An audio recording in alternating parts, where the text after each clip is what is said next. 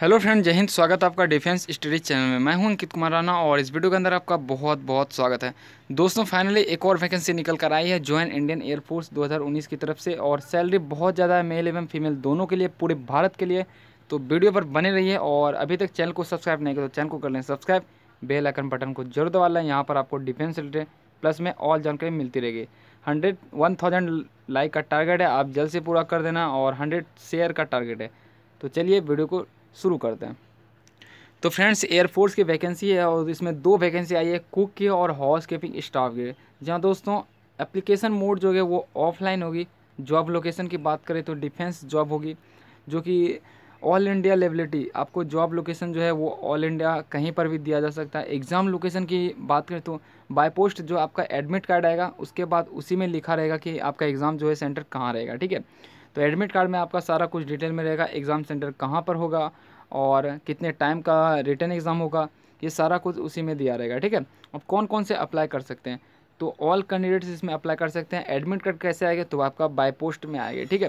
क्योंकि ये अप्लीकेशन जो है ऑफलाइन है। ऑफलाइन में आपको एडमिट कार्ड बाय पोस्ट ही दिया जाता है। जेंडर की बात करें तो मेल एवं फीमेल दोनों के लिए सिलेक्शन प्रोसेस की बात करें तो सबसे पहले आपका रिटर्न होगा, उसके बाद फ़िज़िकल होगा, उसके बाद मेडिकल होगा, ठीक है? ये सारा कुछ प्रोसेस होने के बाद आपका क्वालिफिकेशन की बात करें तो कुक वैकेंसी के लिए जो मेट्रिकुलेशन यानी कि मैट्रिक पास होना ज़रूरी है। हाउस कीपिंग के स्टाफ के लिए मैट्रिक पास है और यदि आपके पास कुछ कुछ, बोल सकते हैं क्या आपके पास एक्सपीरियंस सर्टिफिकेट ठीक है?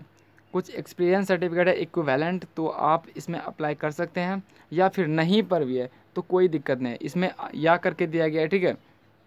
उसके बाद एज लिमिट की बात करें तो दोनों में आपको मैट्रिक पास ही चाहिए, दोनों के वैकेंसी के लिए कुक और हाउस कीपिंग स्टाफ अगर आपके पास कोई सर्टिफिकेट है कि हाउस कीपिंग स्टाफ की कुछ एक्सपीरियंस तो आप अटैच कर सकते हैं। नहीं हो तो कोई बात नहीं। एज लिमिट की बात करें तो टेंथ पास जब से हैं, उसके बाद टेंथ पास हैं और अठारह, अट्ठाईस साल से कम है, ठीक है?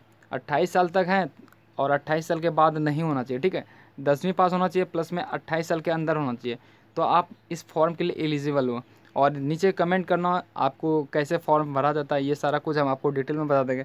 और इस नोटिफिकेशन को डाउनलोड करने के लिए टेलीग्राम पे मैंने दे दिया इसका लिंक वहाँ से जाकर डाउनलोड करना। टेलीग्राम पे सबसे पहले चले जाना और वहाँ पर ज्वाइन कर लेना, उसके बाद टेलीग्राम पे जो फॉलो होता है वो कर लेना, वहाँ पर आपको नोटिफिकेशन का लिंक दे दिया है, वहाँ से जाकर डाउनलोड कर लेना, ठीक है?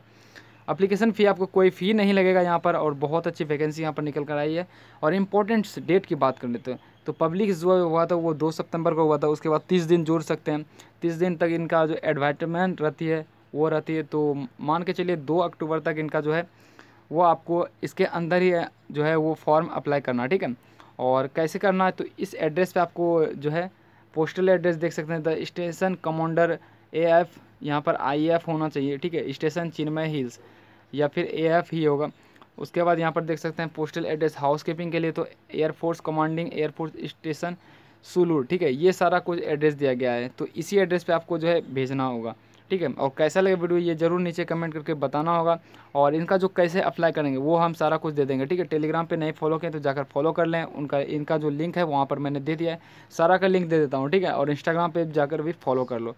तो कोई भी परेशानी हो तो इंस्टाग्राम पे जाकर बेझिझक पूछ सकते हो और नीचे कमेंट ज़रूर करना, आपको हम रिप्लाई देने की बहुत बहुत कोशिश करेंगे और देंगे, ठीक है? बहुत सारे बच्चे का रिप्लाई हम दे देते हैं तो चलिए वीडियो को एंड करते हैं और वीडियो अच्छी लगे तो ज़रूर शेयर करना।